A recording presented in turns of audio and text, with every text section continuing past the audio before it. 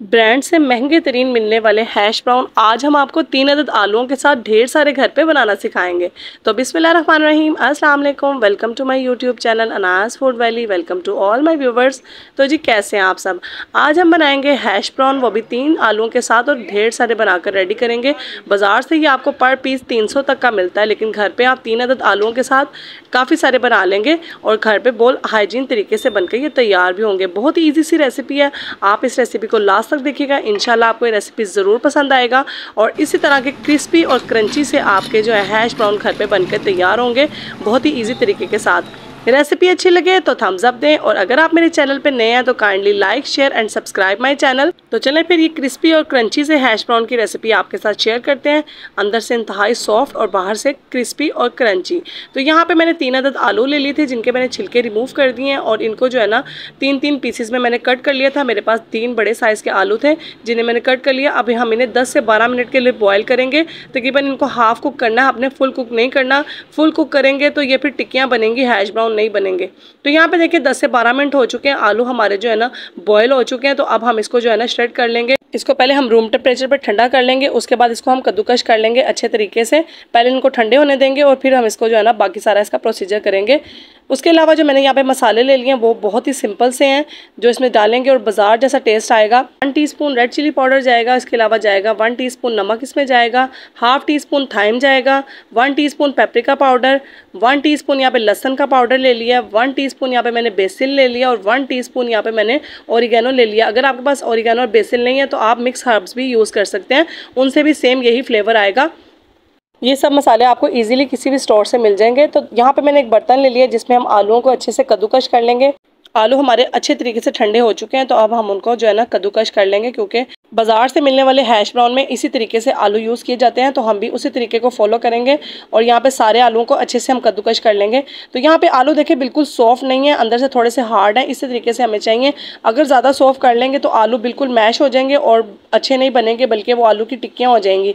तो यहाँ पर आपने आलूओं को ज़्यादा बॉयल नहीं करना, सिर्फ़ दस से बारह मिनट के लिए आपने बॉयल करना है हाफ़ कुक करना है और उसके बाद आपने इसको अच्छे तरीके से इस तरह से कद्दूकश कर लेना है। तो यहाँ पर देखिए, सारे आलू हमारे अच्छे से कद्दूकश हो चुके हैं। तो अब मैं इसमें एक अदद अंडा शामिल कर दूँगी। अंडा हम इसमें अभी एक शामिल करेंगे। अगर ये मिक्सचर आगे जाकर थोड़ा सा थिक हुआ या ड्राई हुआ तो इसके अंदर एक और अंडा शामिल करेंगे। उसके बाद जो हमने मसाले लिए थे, वो सारे शामिल कर देंगे। उसके अलावा यहाँ पे एक कप भर के मैंने कॉर्नफ्लावर लिया था, या कॉर्न स्टार्च ले लें, आप वो भी इसमें डाल सकते हैं। तो कॉर्नफ्लावर डाल देंगे और उसके बाद इसको अच्छे तरीके से हाथों की मदद से मिक्स कर लेंगे। हल्के हल्के हाथों से आपने सारे मेज़े को अच्छे से मिक्स कर लेना, ज़्यादा ज़ोर ज़ोर से दबाना नहीं है, वरना आलूओं के जो लच्छे हैं वो टूट जाएँगे तो वो अच्छे नहीं लगेंगे तो आपने जो है ना बिल्कुल लाइट लाइट हाथों के साथ इसको मेज़े को मिक्स करना है। और इस पॉइंट पे आपने बिल्कुल भी ऐसा नहीं करना कि अगर ये आपको खुश्क लग रहा है तो आपने इसमें थोड़ा सा पानी डाल देना, नहीं, आपने इसमें बिल्कुल भी पानी नहीं डालना, ना ही ऑयल डालना है, बल्कि इसको इसी तरीके से मिक्स करना है। अगर आपको ये ज़्यादा ड्राई लगे तो आप इसके अंदर एक और अंडा शामिल कर सकते हैं। तो यहाँ पे देखिए, अमेज़ा हमारा अच्छे से मिक्स हो चुका है, लेकिन अभी ये मुझे ड्राई लग रहा है तो इसमें मैं एक और अदद अंडा जो है ना शामिल करूँगी इस तरह से। इससे जो है, इसकी कंसिस्टेंसी बहुत ही खूबसूरत हो जाएगी और ये बहुत अच्छे से बनकर तैयार होंगे इस तरह से। अब इसको दोबारा से अच्छे से मिक्स कर लेंगे और फिर इसको हैश ब्राउन की शेप दे लेंगे।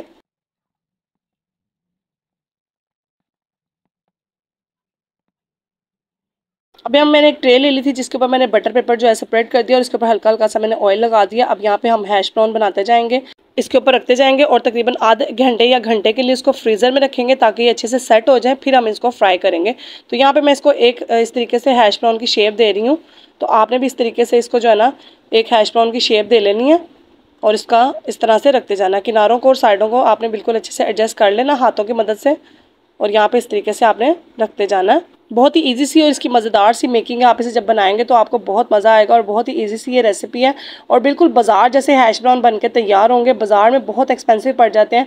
ये पर पीस आपको 300 या 285 का मिलता है, लेकिन घर पे आप सिर्फ़ तीन आलुओं से ढेर सारे बना लेंगे। बच्चों को ये बहुत ही पसंद आते हैं। और इसके अलावा आप इनको बच्चों के लंच बॉक्स में भी दे सकते हैं। तो अब यहाँ पे सारे हैश ब्राउन हमारे बन के रेडी हो चुके हैं। तो एक घंटे के लिए हम इसको फ्रीज़र में रखेंगे ताकि अच्छे से सेट हो जाए। उसके बाद हम इसको जो है ना डीप फ्राई करेंगे। देखिए, तीन आलुओं से कितने सारे ये बनकर तैयार हो चुके हैं। आप इसी तरह से बना सकते हैं और इनको सेव कर सकते हैं। उसके बाद दूसरी साइड में मैंने ऑयल यहाँ पे गर्म होने के लिए रख दिया था। अब यहाँ पे मीडियम टू लो हीट पे हम इनको फ्राई करेंगे ताकि आलू अच्छे से अंदर से भी कुक हो जाए। और तकरीबन इन्हें फ्रीज़र में रखे हुए एक घंटा हो चुका है और ये अच्छे से सेट हो चुके हैं। तो अब हम इसको पकड़ते जाएँगे और ईजिली ये जो है, देखें फ्राई होता जाएगा।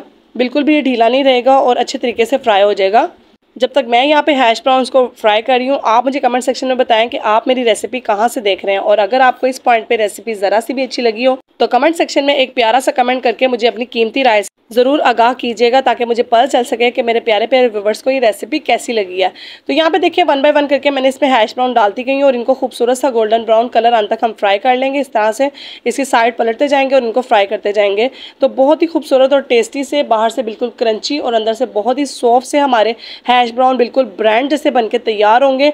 आप इस रेसिपी को जब भी ट्राई करें तो मुझे कमेंट सेक्शन में अपना फीडबैक तो लाजमन दीजिएगा कि आपके हैश ब्राउन कैसे बन के तैयार हुए हैं। तो ऐसे ही इनको अलटते पलटते हम इनकी साइड चेंज करते हुए खूबसूरत सा कलर आने तक इनको फ्राई कर लेंगे। आप देख सकते हैं कि कितना खूबसूरत सा इन पर कलर आना स्टार्ट हो चुका है। तो यहाँ पे हमारे प्यारे से हैश ब्राउन तैयार हो रहे हैं। इसी तरीके से हम सारे हैश ब्राउन्स को रेडी कर लेंगे। उसके बाद आपको सर्व करके दिखाएँगे कि कितने खूबसूरत और क्रंची से हमारे जो है ना हैश ब्राउन्स बन तैयार हुए हैं। तो यहाँ पे एक हमारा बैच जो है खूबसूरत सा बन के तैयार हो चुका है। तो अब मैं इसको जो है ना बाहर निकालूँगी। तो ये देखिए, मेरे अल्लाह पाक की शान, कितना खूबसूरत सा हमारा हैश ब्राउन बन के रेडी हुआ है। आप भी इस रेसिपी को ज़रूर ट्राई कीजिएगा। बहुत अच्छी रेसिपी है और बहुत ही ईजिली बनकर तैयार होंगे। बच्चों, बड़ों, सभी को ये बहुत पसंद आएँगे। तो यहाँ पर मैं इसको एक प्लेट में निकालती जाऊँगी।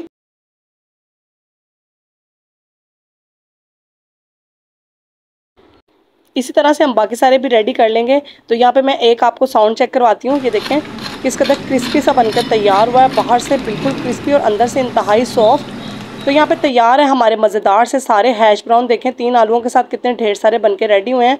अंदर से इंतहाई सॉफ्ट और बाहर से इंतहाई क्रंची उम्मीद करती हूँ कि आपको ये रेसिपी ज़रूर पसंद आई होगी। रेसिपी अच्छी लगे तो थम्स अप दें। इन नेक्स्ट ऐसी मजीद रेसिपीज़ में आपसे फिर से मुलाकात होगी। तब तक के लिए दें इजाज़त। अल्लाह हाफिज़।